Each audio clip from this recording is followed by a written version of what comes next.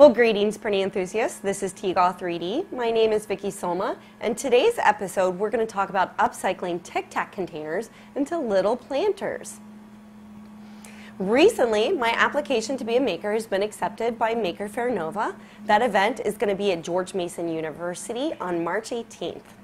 This will be my fourth year being a maker at Maker Faire Nova. Uh, this year, I want to focus on upcycling projects with 3D printing. My inaugural project has been quite some time in the making.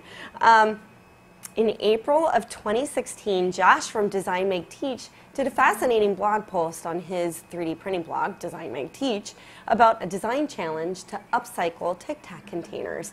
Uh, my mother is addicted to Tic Tacs, so I started to have her collect these Tic Tac containers because I was going to come up with some kind of project for it. Um, those Tic Tac containers has sat in my office from about April 2016 until now, uh, January 2018. So it was about time that I found something to do with them. Uh, for Christmas, I received some air plants, and you know, they love moisture, they want to have high humidity, they want to be in places like showers.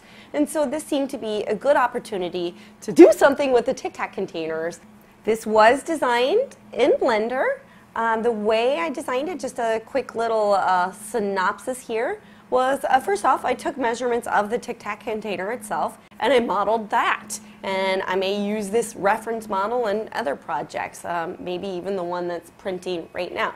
Once I had my little model of the Tic Tac container, uh, what I did was I used a tool called Loop Cut and Slide to just sort of plan out where I wanted my support railings for my frame that was going to hold the Tic Tac container. Um, once I laid those out, I highlighted each of those faces and I duplicated them. I made a copy of just those faces. Then I used a feature in Blender to separate out those duplicate faces to their own object. Those new duplicate faces that are their own object, I know that they're flush with my Tic Tac container that's you know going to be inserted in. I didn't add any clearances. I wanted to keep everything nice and snug. So once I had those little support rails out in its own object, I just extruded them to the thickness I wanted. And then I also put a hole in the back uh, for a little hook for a suction cup.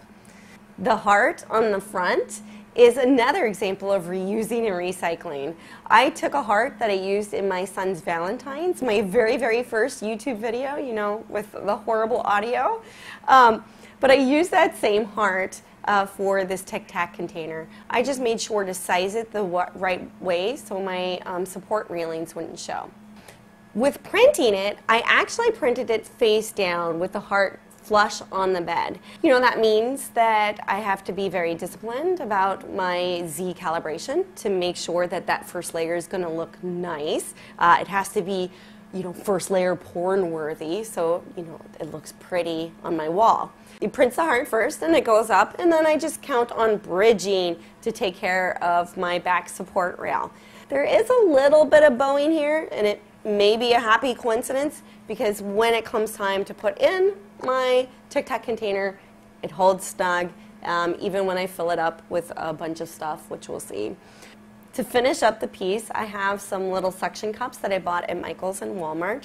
I filled the Tic Tac container with some um, aquarium stones, you know, just some colors that uh, I was responding to and I liked.